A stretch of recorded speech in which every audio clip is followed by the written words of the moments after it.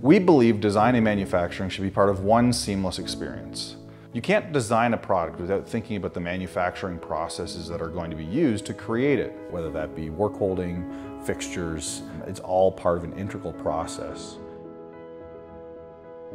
So Autodesk HSM is an underlying toolpath technology that exposes itself inside of the environment where you're doing your design work.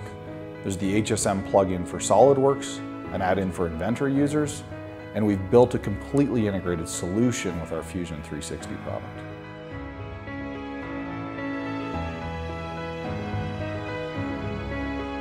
In the same way that you need to think about how a product is manufactured as you're designing it, we need to be considering how a product is used as we're building our software solutions.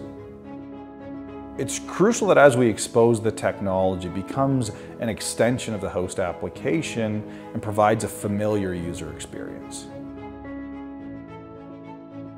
It's easy to think of CAM software simply as the underlying toolpath technology and the user experience. But one of the most important parts of the experience in the product is the connection that's created, both to ensure success with the existing technology and drive innovation to help customers produce parts on time at a high quality.